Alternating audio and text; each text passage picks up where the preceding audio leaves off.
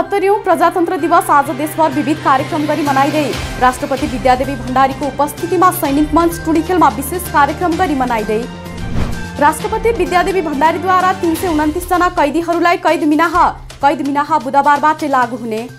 प्रधानमन्त्री केपी शर्मा ओलीको दोस्रो पटक मृगौला प्रत्यारोपण गर्ने तयारी।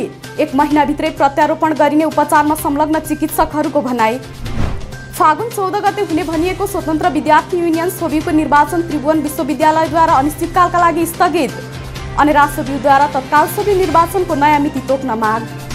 सरकारको समृद्धिको यात्रामा नकारात्मकता फैलाएर अवरोध गर्न खोजेको प्रधानमन्त्री केपी शर्मा ओलीको गुनासो।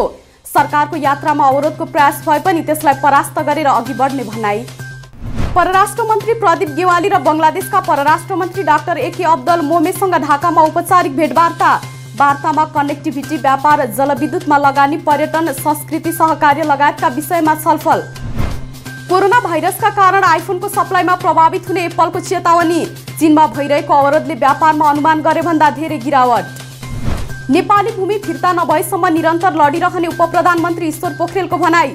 डिम्पियाधुरा लिपुलेक र कालापानी क्षेत्रमा अतिक्रमित भएको नेपाली भूमि फिर्ता ल्याउने विषयमा दुई देशबीच कूटनीतिक पहलमै रहेको दावी।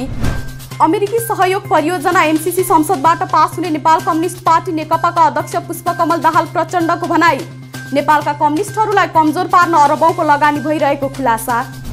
ललिता निवास प्रकरणका आरोपी न्यायाधीश विनोद कुमार गौतमको रिट पहिलो सुनवाईमै सर्वोच्चद्वारा खारेज।